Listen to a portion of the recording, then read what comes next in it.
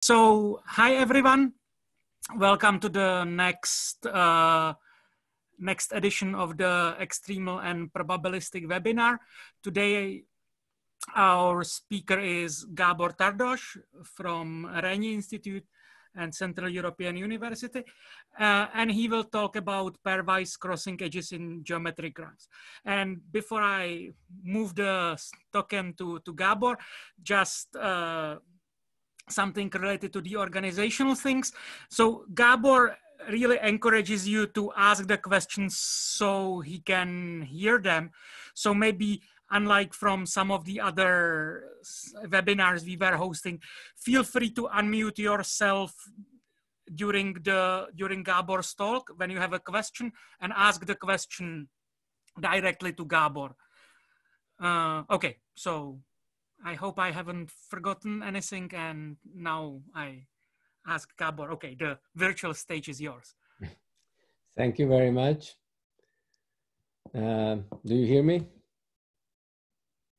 Okay, great. So yes.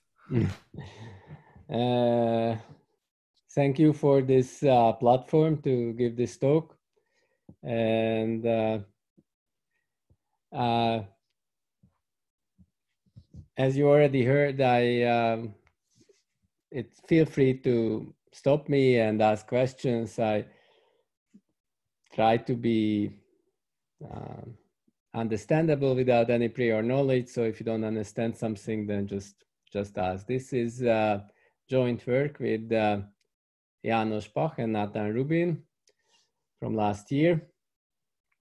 And it's about, well, maybe against the title, it's about, um, there's nothing to do with geometric graphs. It's about point sets in the plane. So, and now, yeah. Uh, so given endpoints in the plane in general position, so no three on a line, it's a very natural question to find some subset of the points with some kind of structure. And this particular question asks for very little structure indeed, just uh, edges determined by the segments that pairwise cross each other. So uh, you want pairs of points determining segments, and these should be um, disjoint pairs, so you don't want to use the same endpoint twice. And you want all these um, segments to be pairwise intersecting. So here is an example. So you see all these uh, blue dots are points in the plane. And they determine these uh, four segments that are pairwise crossing. Maybe they also determine five in some other ways, but this is an example of uh, four pairwise crossing segments that they do determine. So this is uh, this can be considered as an algorithmic question. I give you the points and maximize the number of pairwise crossing segments. Uh, but it can also be considered as a combinatorial problem or an extremal problem where you want to estimate how many you can always find. So what is the uh, maximal number of segments? Then no matter how I give you the endpoints in the plane in the beginning, well, they are in general position, and you can always find that many pairwise crossing segments that they determine. So let's call this f of n. And this talk is about this uh, extremal problem. So, keep, okay. So as I said, it's a question of finding a structured subset of the points and the most structured that you can find is a subset of the points in convex position. And that question was, uh, well, asked and answered in some way um, in 1935, so a very long time ago, by Erdős and Szekeres, who proved that uh, you will find constant times log n points in convex position out of n points in the plane.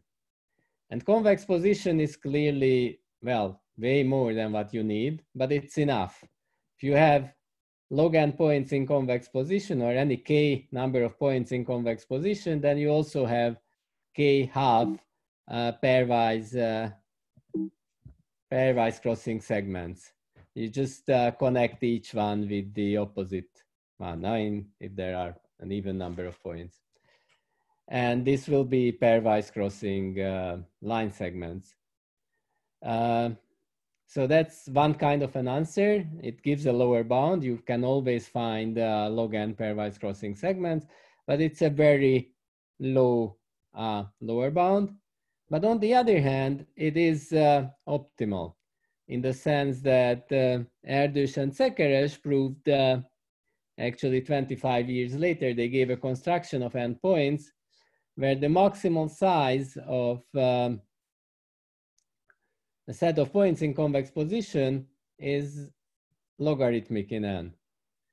So if you want to find this much structure, then you cannot do more than log n.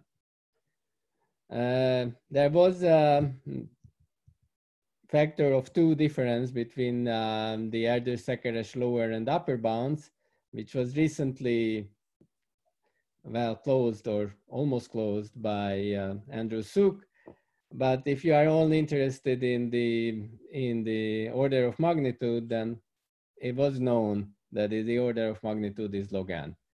So you want to go beyond that.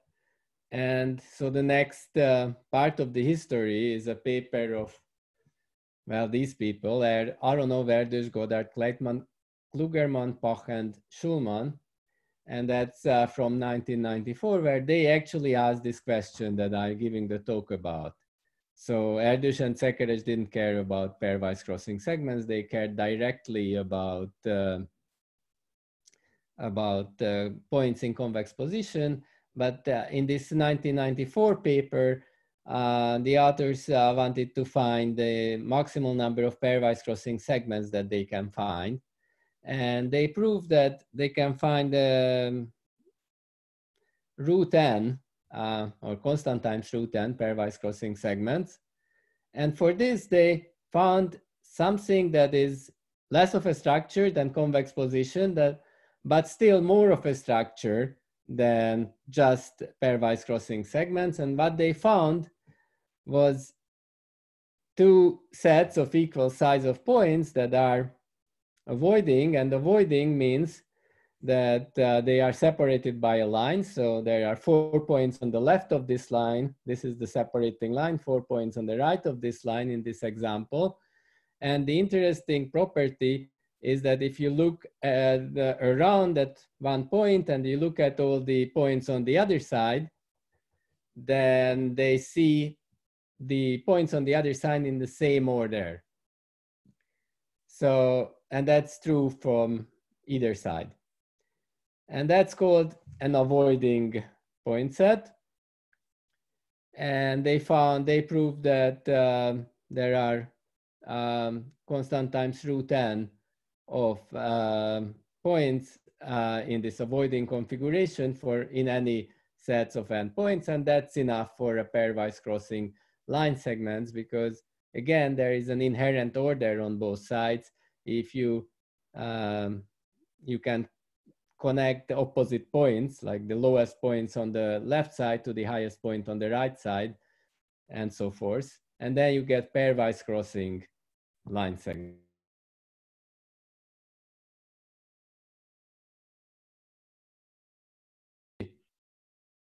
Oops. Um,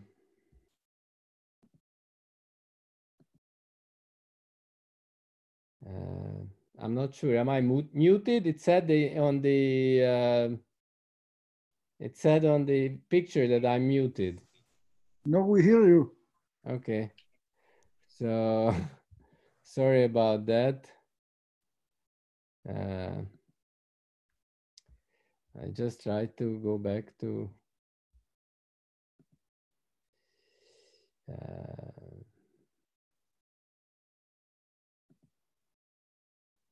oops. So, okay. So I was here. So this is a good lower bound, but it's still more of a structure than what we need. And indeed, um, three years later, Pavel Valtr proved that uh, with this additional structure, you cannot do more. So there are endpoints in the plane that uh, if you are looking for an avoiding set, I mean, a pair of sets, uh, uh, subsets that are avoiding, then one side will have at most order of uh, square root of endpoints. So you cannot uh, improve on this result by this technique, by the technique of avoiding pairs. But the conjecture is much higher. The conjecture is that uh, there are linear number of pairwise crossing segments, always. So there is way to improve, but for the improvement, you need less of a structure. And a few words about the upper bound. So the trivial upper bound is that you cannot hope for better than n half because, well, even a perfect matching would have n half segments. And you can go lower than n half, well, even trivially, or it's very easy to go lower than n half.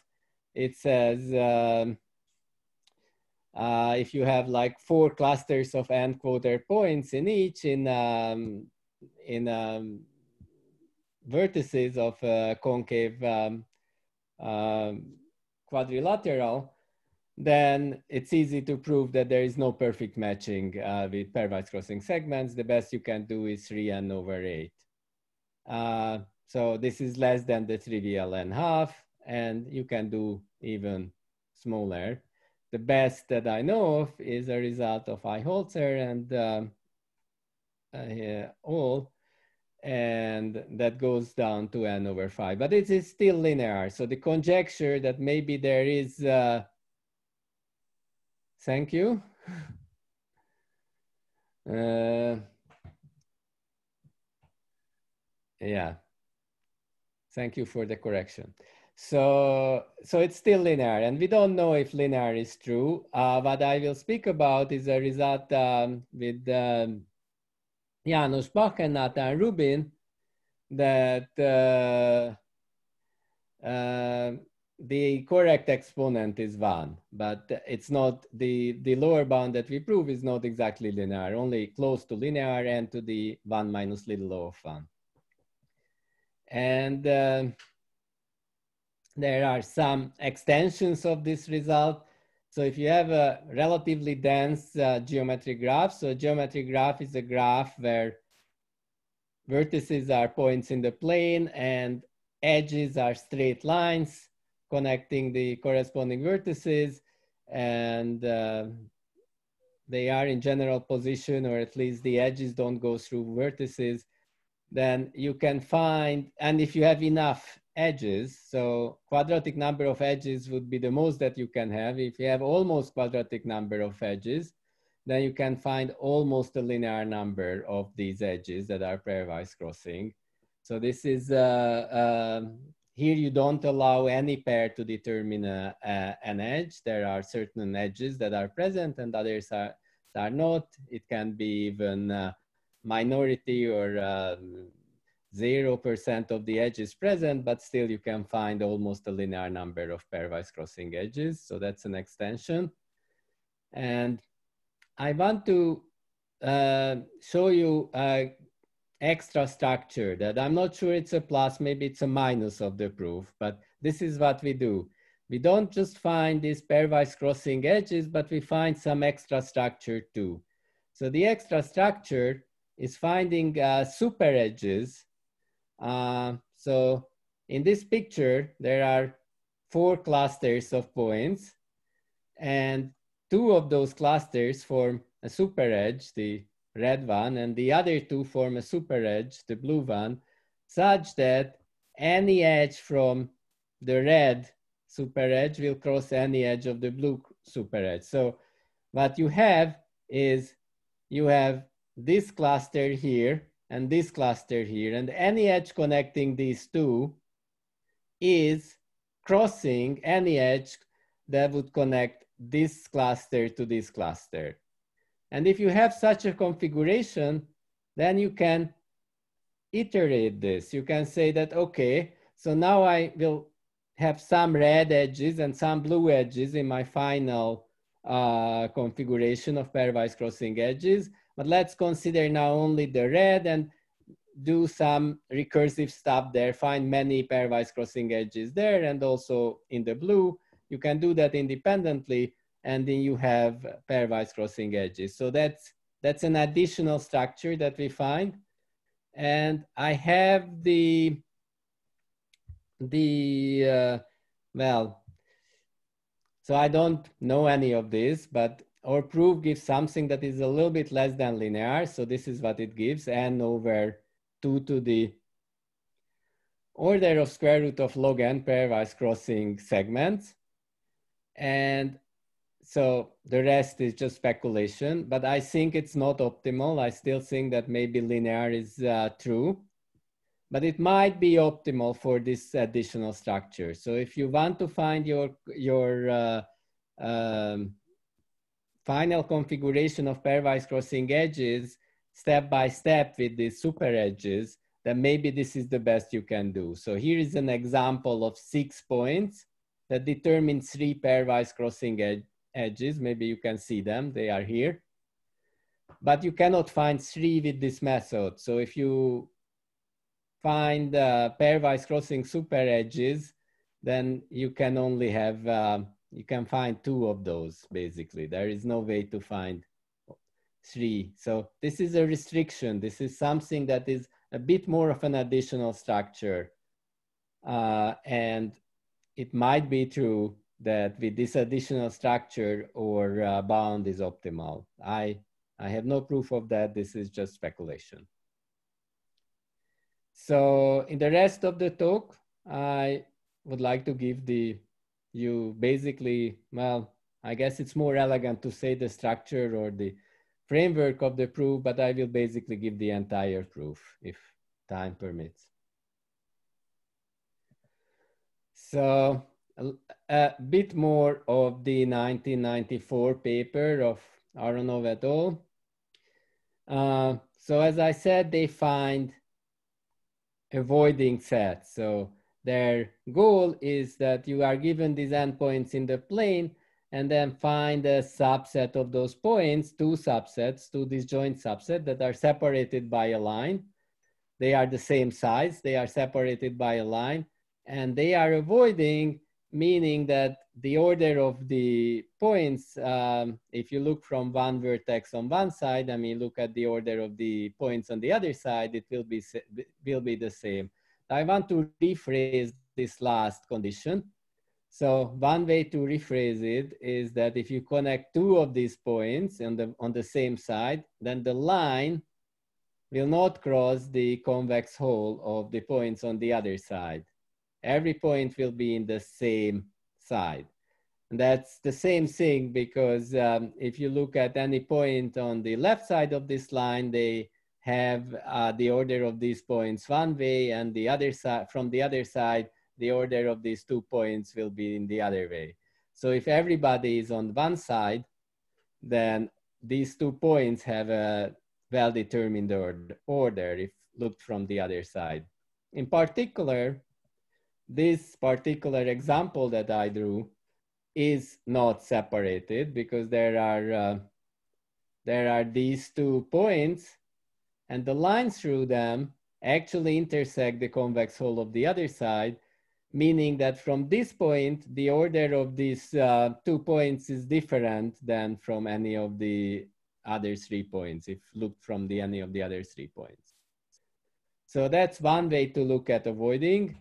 Avoiding means that if you connect two points on one side, the line will not cross the convex hull of the, the other side. And we want to relax this. So our goal is to find a relaxed version of avoiding. And this is the relaxed version. It's called epsilon avoiding. Epsilon is a small number between zero and one. And I call a configuration epsilon avoiding, it's kind of avoiding. I still have same number of uh, points on one side of a separating line than on the other side of the separating line. And then I can connect any two points on one side of the separating line. And well, sometimes it will cross the convex hull of the other side, but maybe it doesn't happen too many times. So epsilon n squared is an upper bound. There are not more than epsilon n squared of these bad uh, pairs of points on the same side. So I guess uh, the worst kind of configuration is still uh, maybe one quarter avoiding because there are only one quarter n squared pairs of points on the same side but uh, maybe even less. But if epsilon is small enough, this is a meaningful notion. If epsilon is absolutely zero, then we are back to the avoiding concept of the Aronov et al. paper. So this uh, particular example is 1 16th avoiding because this is the only bad part. So there are n point, n equals 4 on both sides. And this is the only bad pair here. So that's um, 1 16th times n square of the pairs are bad.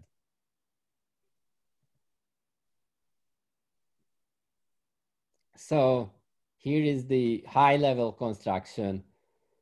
The initial step is we somehow find uh, epsilon avoiding pair, just two sets of uh, points of uh, two sets of the same size, and this same size should be many.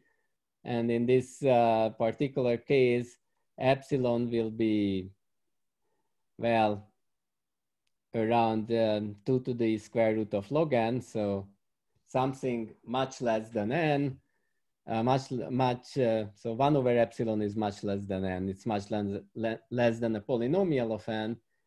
And we make an epsilon avoiding pair of size that is, uh, well, this, it's constant times epsilon to the four times n. Don't worry about that exponent four, it doesn't really matter. So this will be done uh, with a result, using a result of um, Jirka-Matoušek. Uh, and then comes the recursive step. So now we have an epsilon avoiding pair. So if it was zero avoiding, we would be done. We would have, uh, or uh, so if you have m points in a zero avoiding or avoiding pair, then you have m pairwise crossing segments. But uh, but that's not that's not what we have. We just have epsilon avoiding. So there will be another parameter k, and we will find basically uh, k we will partition the, these m points into m su subsets of m over k. And then these on both sides. And then we connect uh, one cluster on one side with one cluster on the other side. If we claim that these are pairwise crossing super edges. Uh, and these are still avoiding. And then we can do recursion and we lose here and there for example, if the size is our m over k, then you have you might have like k clusters of them, but we won't have k pairwise crossing super edges. We lose a factor of 10 here. And well, these uh, pairs are avoiding, but not quite as much avoiding as they were before. So you had epsilon as the uh, constant for epsilon avoiding previously, and you lose a factor of 10 here too. So that's the recursive step. And of course, every recursion has to bottom out somewhere. So if you do this recursion, then m, your number of points, will decrease all the time, and your epsilon will increase all the time. So after a while, m is too small or epsilon is too, too large, and then you just stop and you just pick one edge. And that's the that's the bottom or, or end of the recursion there. So that's the that's the structure of the proof. And i think that the recursive step is the more interesting. So i start with that. It's also the more involved. So so what we do for uh, the recursive step is we introduce this partial order. So in this case, so look at the, the picture here. Uh, I want to introduce a partial order on the right-hand side. This will be basically the order in which points on the left-hand side see them. But of course, this is not the same order from every point on the left-hand side. But if the line connecting them is disjoint from the convex hull of the left-hand side, then this order is well defined and that will define the partial order. So x is less than y in this partial order if a is on the well right side of this oriented line from x to y and in this uh, well maybe less than is not uh, intuitive because in this partial particular case less than means that x is kind of higher up in this picture than y is. It's very easy to see that this is indeed a partial order. Uh, it's a partial order if the two point sets are separated by a line, if it's not a partial order in general. But in this case, the points on the right-hand side are separated from the points on the left-hand side by a line. And in this case, you have actually a partial order. Then the next thing is, uh, okay, so this is still about the partial order. Z and T are not comparable in this partial order uh, on the left-hand side. Uh, so if you have a partial order, then there is a combinatorial observation. So we are dealing with a partial order, which is almost like a linear order. In a linear order, every pair of points is comparable and here it's not the case.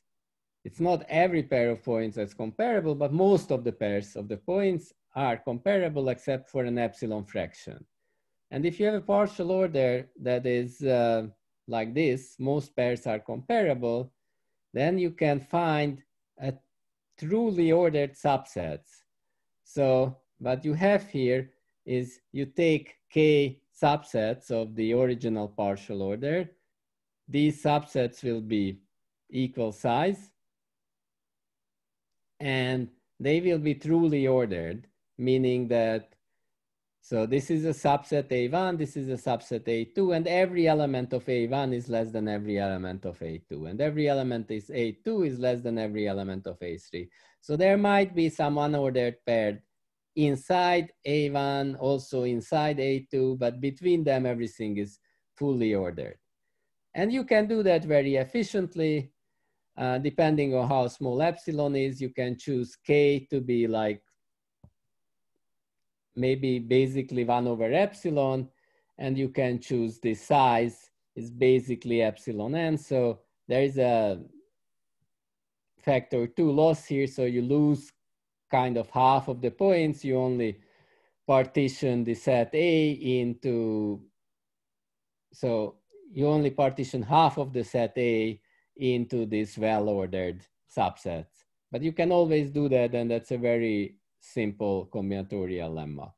If you, if you actually do that, in this case, so you have two partial orders, points on the left-hand side have a partial order and points on the right-hand side have a partial order, then it's clear what you get. You have these clusters and everything is well ordered between the clusters. And you have the clusters on the right hand side, and it's very easy to show that if you decide to connect the lowest cluster here to the highest cluster here, so everybody is connected to the opposite cluster, then you have pairwise intersecting super edges in the sense that in this picture, if you connect any point in A1 to any point in B1, that will cross any edge that connects any point in A2 to any point in B2, and also any point from A3 to any point in B3. So, so okay, so you have these clusters, and and then you think you are basically done. You have uh, all these pairwise crossing super edges. Uh, but not so fast because in the, if you go back to what you want to do is you want to have these pairwise crossing super edges that are also somewhat avoiding. So, well, maybe not epsilon avoiding, but you need some, some control over these pairs that they are still kind of avoiding. And if you just uh, connect uh, the top one here to the bottom one here and so forth, you have many pairwise crossing super edges, but they are there are no control over how avoiding these pairs are. So yeah, so so that's uh, good in one way, but not so good in in another way. So you have to do it in a uh, bit more of a uh, bit more carefully. And for more carefully, the only thing you have to do is not to insist on finding an optimal matching here, but just um, lose another factor of two and you say that, okay, half of the clusters on the left will be matched to half of the clusters on the right. You do it in a monotone way, so these will still be uh, pairwise crossing super edges, but now you introduced a lot of randomness, and you can show that if you introduce enough randomness here, then these edges will be actually, uh, well, the expected, uh, you expect them to be kind of uh, well avoiding. And that's, uh, that's because, so, so I don't give the calculation here, but the idea is that if you have maybe these two points in A2 are uh, not uh, um, compared in the partial order, meaning that uh, their uh, uh, line, the line through them, actually crosses the right-hand side.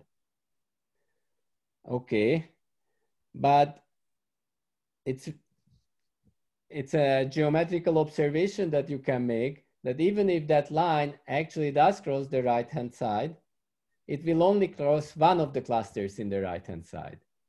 So in the next layer, it will be a good pair, a pair that is comparable, unless you have the bad fortune of pairing, in this case, oops, sorry, I want to still go about this.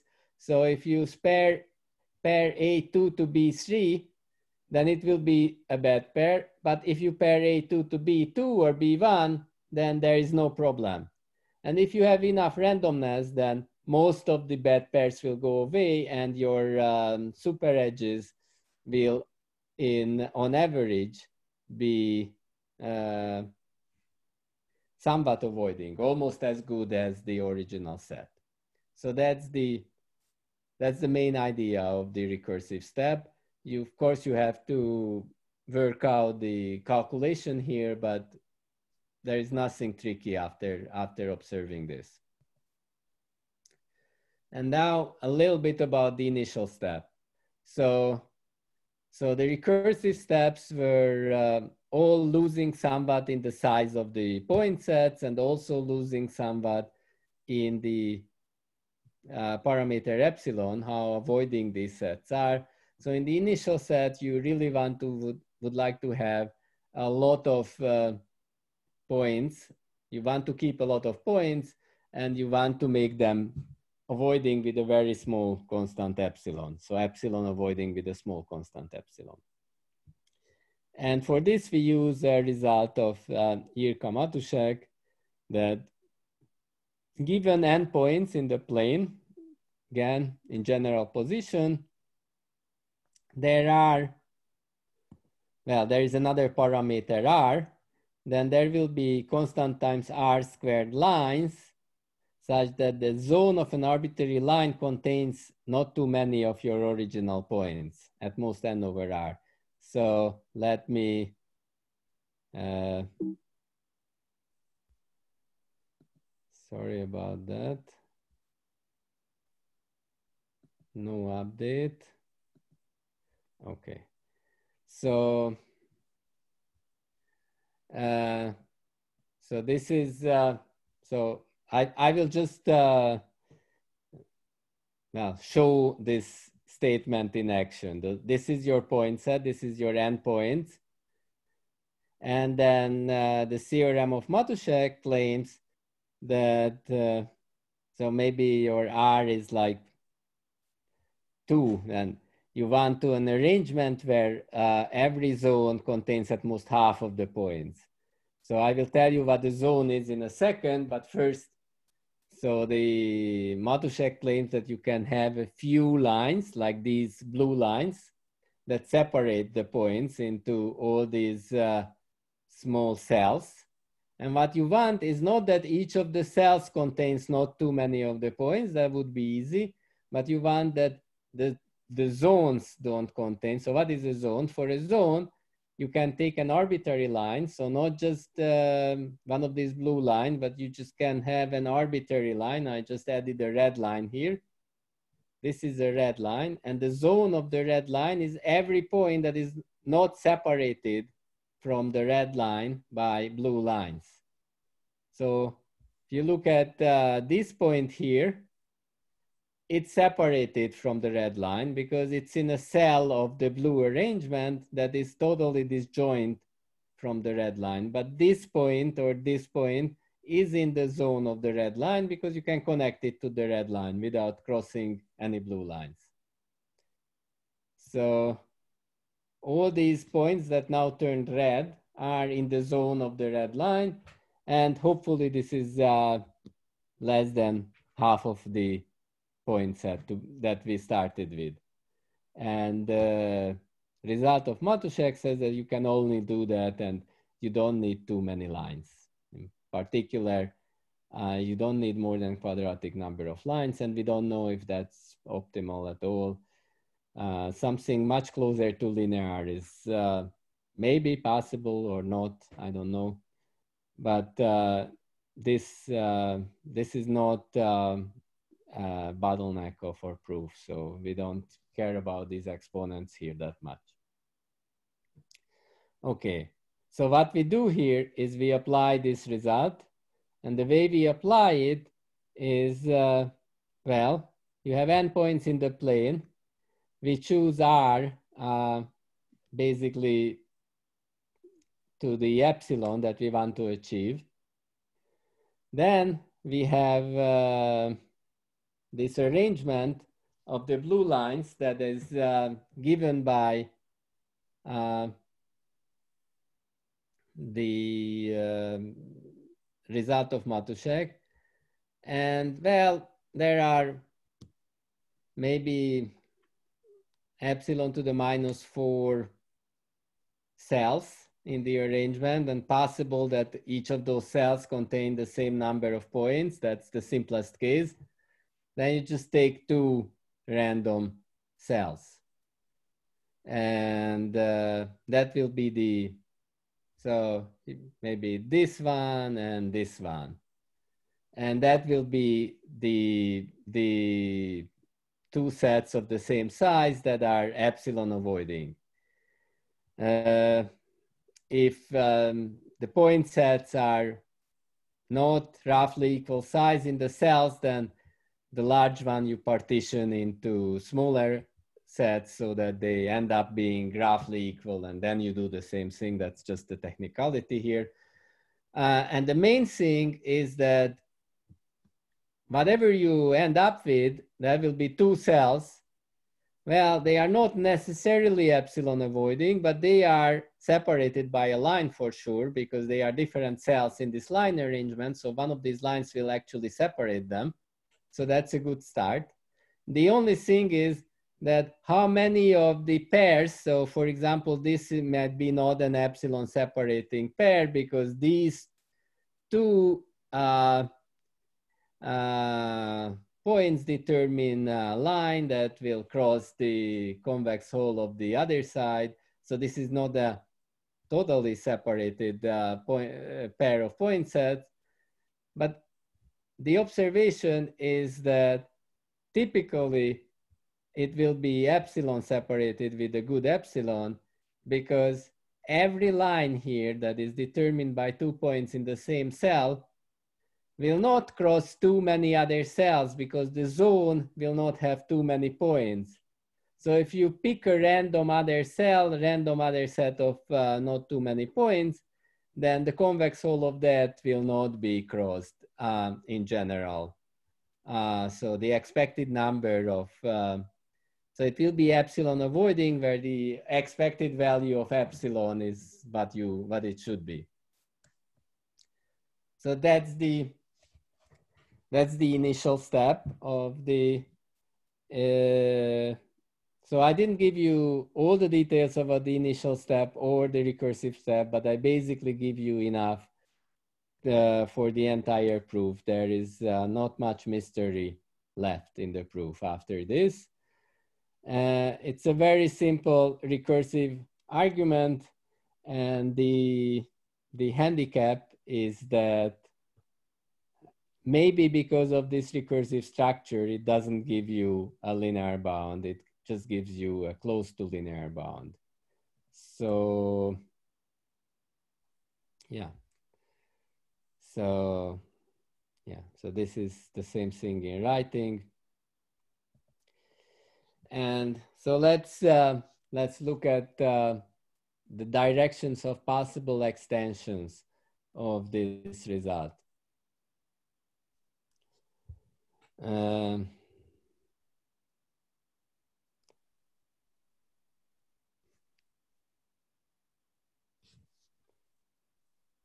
uh, so this uh, first extension that I, I wrote here is uh, about the opposite problem. So in all this talk, we were looking for uh, edges determined by the endpoints such that these are pairwise intersecting and the opposite of intersecting is, uh, well, it is sometimes called avoiding segments or um, skew segments or whatever, but all these words are uh, kind of uh, misleading. What we mean is that the line of one of these segments does not cross the other segment. So crossing means that the line of both segments cross the other segment. And the opposite of that is that the line of neither of the two segments crosses the other segment. And uh, these two things, crossing and avoiding, is uh, kind of dual, and most of the uh, problems they behave similarly. And this is one of those examples. These two behave similarly. The same proof technique uh, gives um, the same bound for uh, pairwise avoiding uh, segments. And also there is a direct connection between them, even a black box connection. If you have any bound for the pairwise crossing um, case, then a similar bound applies for the pairwise avoiding case too. Uh, this one I already mentioned in the um, introductive introduction part of the talk that uh, uh, the geometric graph case is that you are not only given endpoints, but you are given endpoints and uh, some pairs of um, vertices determine edges where other pairs of vertices don't determine edges and you want to find pairwise crossing edges. So that's an added restriction. You cannot pick any two points. You have to pick two points that uh, actually determine edge, determine an edge in the geometric graph. And this whole technique works um, the same way if, um, if your graph is uh, very dense, meaning uh, well, it doesn't have to be linearly dense. There doesn't have to be a quadratic number of edges, but n to the 2 minus little of 1 edges is enough. Then you find n to the 1 minus little of 1 pairwise crossing edges in the graph. The complication that comes with this is that uh, in the recursive step, you don't have to, so what we had to worry about in the recursive step is finding epsilon avoiding pairs of sets that have two good parameters. First, they had to have uh, enough number of points in them. And second, they had to have uh, good avoiding properties, so this epsilon avoidance. And uh, for this, you have to worry about the third uh, property, that, well, the geometric bipartite graph that they determine has enough edges. So just having enough points is not necessarily enough because maybe there is no edge of the geometric graph connecting them. But, uh, but it kind of works uh, if the graph is dense enough. And now comes the things that I don't know the answer for. The first is the that I started with. The conjecture was a linear number of pairwise crossing segments. Is this true? Is this not true? Even if it's not true, I don't think that this um, n over 2 to the square root of log is the optimal bound. I think that you can do better than that. Uh, maybe linear, maybe n over log n or something like that. Uh, but that's open.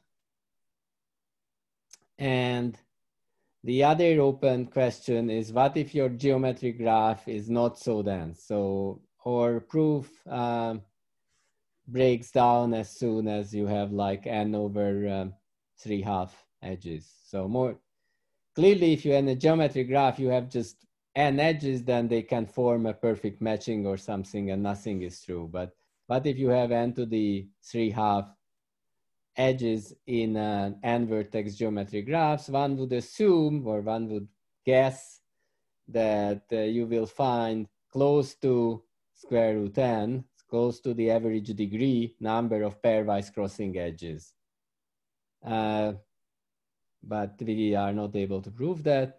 And the, the open problem that is uh, maybe the farthest away from um, so the next one is, uh, I think it's a very interesting open problem, but these particular techniques don't seem to be well suited to handle it. it.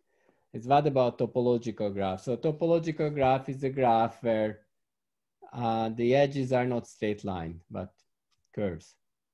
And uh, you can, even for a complete topological graph, you can ask for many pairwise crossing edges. And this uh, partial order technique that we used were very closely re related to, I mean, really dealing with uh, fixed geometric arrangement and uh, uh, with these topological graphs, um, the curves can go any odd way, and it's very hard to apply this uh, this technique there. So this is uh, the one that I uh, I mean this really needs it's I think it's the most important of the three open problems, but it needs the something uh, uh really a new idea here. Um, so thank you very much. This this is the talk that I prepared, and against my encouragement, nobody really stopped me. So if you have any questions. Okay. Uh, thanks a lot, Gabor, for a really nice and, and clear talk. So maybe that's why there were not that many questions yeah. during the talk. Anyways, uh, if anybody has a question, I believe one should be allowed, one should be able to just unmute themselves and ask the question. But if not, uh, raise your hand and I or Honza, the other Honza will unmute you. So anyways. Are there any questions?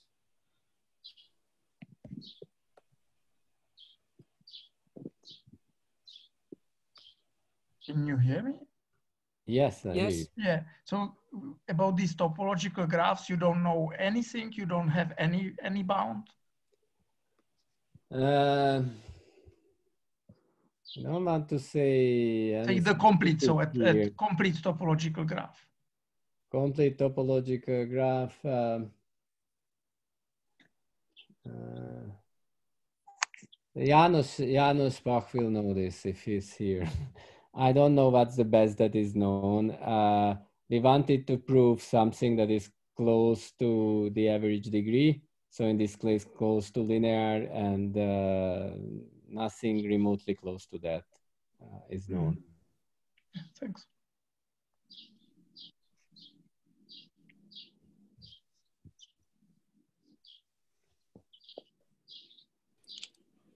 So, well, if there are no more questions, let me check the chat in case. Uh, so I'm planning to unmute everyone so that we can give a round of applause to Gabor. So uh, if you don't like to be recorded when clapping, then disconnect, please. uh, so yeah, I'm unmuting all in five, four, three, two, one. Okay.